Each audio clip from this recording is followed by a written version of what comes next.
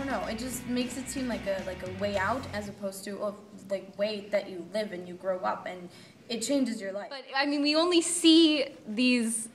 characters when they're really young or they're babies or I don't know if I can think of an example of um, grown up. Yeah, like um, a young adult even like talking about their experience being adopted, which really makes it very different because then they have opinions of their own to offer, which is I think what this play really um,